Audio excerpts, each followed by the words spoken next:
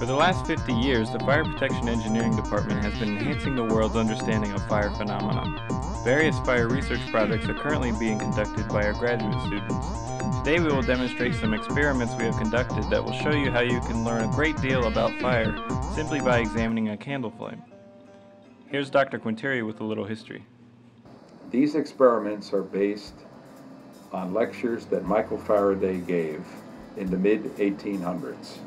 And he gave these lectures to young people around the holiday time to illustrate aspects of chemistry and physics through looking at experiments with a candle.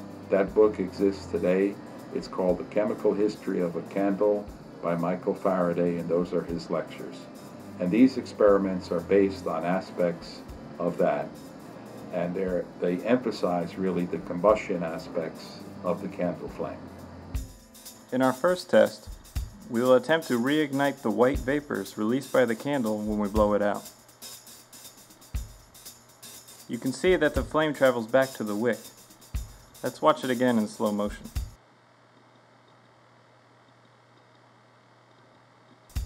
This tells us that the vapors released by the candle are what's burning. Our next experiment will prove that the gasified fuel from the wax fills the region inside the flame. We can extract the fuel from inside the candle using this eyedropper and blow it out. Here it is again in slow motion.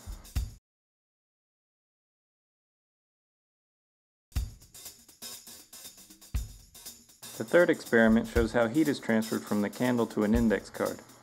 The radiation from the candle and the heat from the hot gases released from the burning are heating the card. At this distance, it is enough to ignite the paper. This is all accomplished without the candle flame or the index card touching. These experiments are all very simple, but they help us understand how fire works on a much larger scale. When we are armed with this knowledge, we are able to conduct research on sprinkler design, create computer simulations, assess fire risks, and examine the use of new kinds of fuels, all of which is being done at the University of Maryland's Fire Protection Engineering Department.